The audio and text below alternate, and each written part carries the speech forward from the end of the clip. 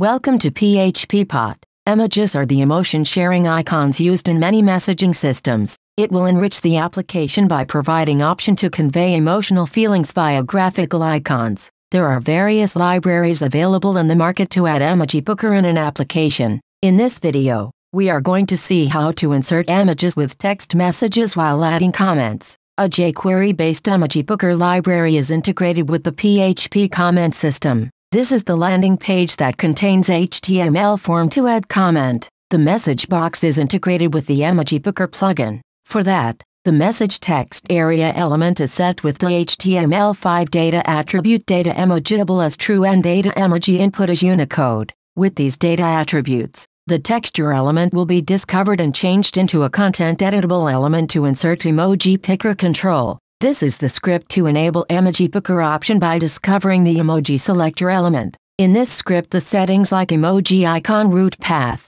emoji picker class name and more options are set as default at the time of initialization. This script also handles the comment set in list AJAX requests with appropriate PHP endpoints. After add list the comments with emoji icons are fetched from the database and updated in the UI previously. We have used the same script while embedding like unlike feature with the PHP comments system. Now, we are going to insert images with comments by running this example. This the form to enter the username and comment. The comment box contains the emoji picker control at the top right corner. By clicking this control the emoji select box will be sliced down. On picking one among them, the emoji icon will be inserted to the comment box. By submitting this form the comments with images are added to the database via AJAX and displayed here below this form. The comments and replies are shown here in a hierarchical order with emotional icons. The emoji integration also enabled for adding replies to the comments. My name is Vincy.